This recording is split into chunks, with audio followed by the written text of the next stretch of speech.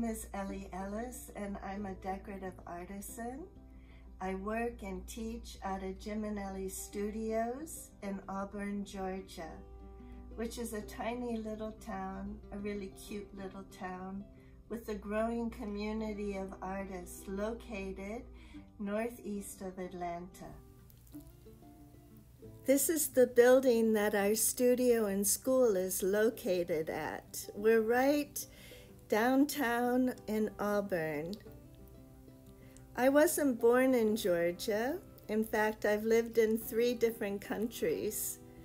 I was born into a middle class family, the second oldest of five children.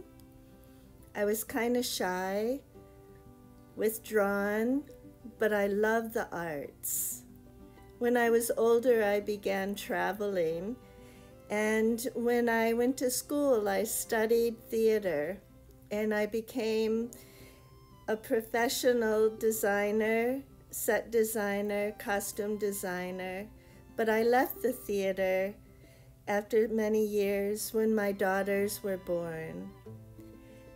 I wanted to spend as much time with these two girls as I could because the theater took all your time.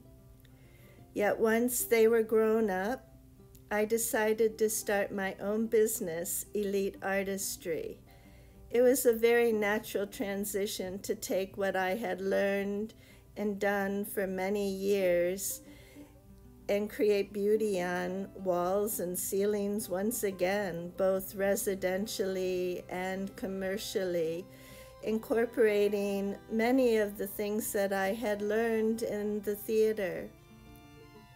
But I wanted to learn more, so I studied with some of the masters in the industry William Cochran, Pierre Finkelstein, Kelly King, I actually studied under Kelly for several years and I became a platinum training center for modern masters.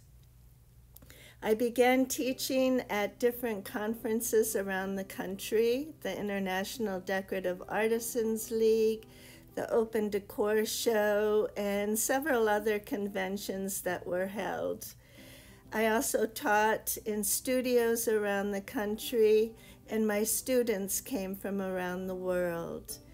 I was certified as a master stencilist and have won several awards for my work in the industry.